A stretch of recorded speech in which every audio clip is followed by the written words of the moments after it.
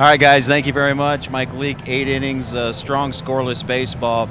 Over the last four starts, you've got a 0.60 ERA, and preceding that was some starts in which you uh, had a lot of walks. What has been the difference the last four?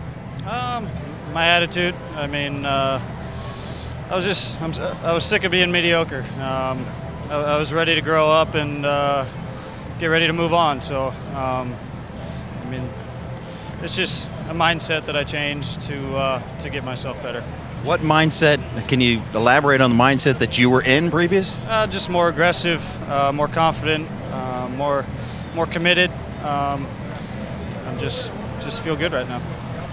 Is it extra sweet? Eight innings of scoreless baseball here in this ballpark. You guys haven't had the greatest of success here, and not very many teams have had success here. Yeah, I mean we, we have struggled here. Um, it's always nice to go out and, and try to help help your team uh, eat up as many innings as you can and and put up strong innings. And Tucker did a great job tonight. He called a great game. Uh, good defense, good offense. Clutch clutch, hit by Joey. Um, Jay right there. Um, we got we got a good group of guys. It's unfortunate that uh, things have turned into what they have, um, but I mean, best of luck whether I'm with them or not um, the rest of the way.